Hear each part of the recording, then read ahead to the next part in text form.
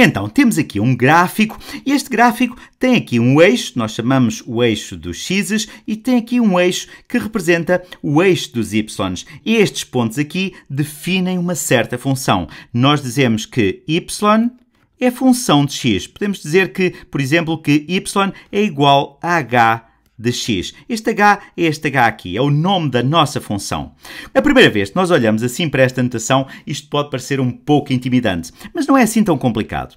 Então, isto aqui é a nossa função h. E o que é que é uma função? Bem, uma função é algo que a cada x faz corresponder, e agora vou pôr aqui uma caixa, assim uma espécie de máquina, que eu vou chamar h, esta é a nossa função, ela a cada x faz corresponder um y. Nós chamamos este x o objeto e este y a imagem. E este x e este y podem ser substituídos por valores concretos.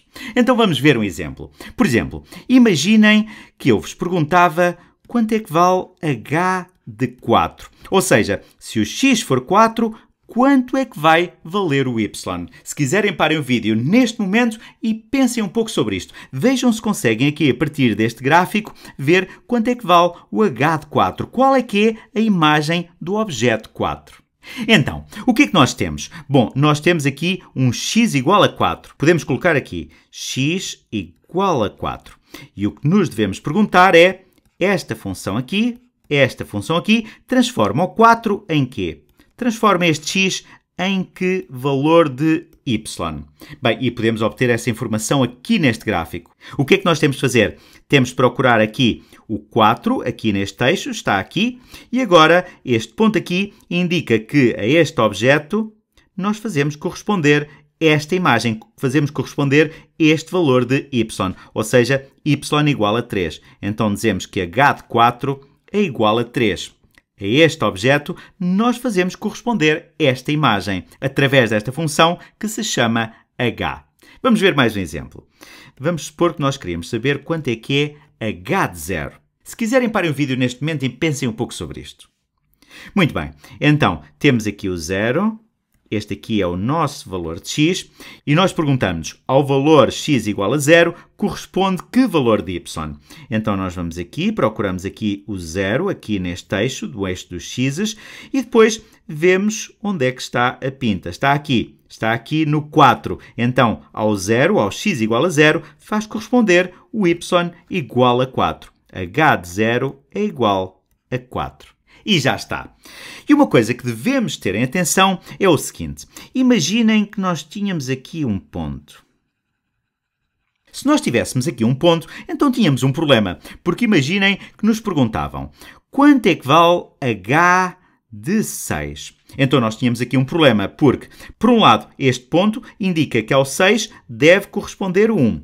Por outro lado, este ponto indicaria que ao 6 deve corresponder o 3. Então nós teríamos aqui um valor de x que correspondia a dois valores de y. E isso não pode acontecer. Se de facto houvesse aqui um ponto, então isto não seria uma representação gráfica de uma função. Vamos ver outra situação. Imaginem que, não sei, que aqui tinham um ponto. Então, isto sim não é um problema. Nós podemos perguntar-nos quanto é que vale h de menos 4? Bom, e nós vamos aqui ver. h de menos 4 vai valer 2.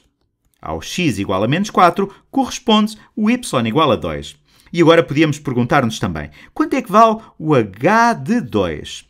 Bom, o h de 2, aqui segundo este gráfico, é igual a 2 ou seja, ao x igual a 2, também corresponde o y igual a 2. E isto não é um problema. Ou seja, é possível ter dois valores de x diferentes que correspondem ao mesmo y. Aqui temos x igual a menos 4 e x igual a 2. São dois objetos diferentes que correspondem à mesma imagem. E isso é possível. O que não é possível é ter aqui um valor de x que corresponde a dois y's diferentes. Então, este gráfico aqui com este ponto ou sem este ponto, de facto define uma função.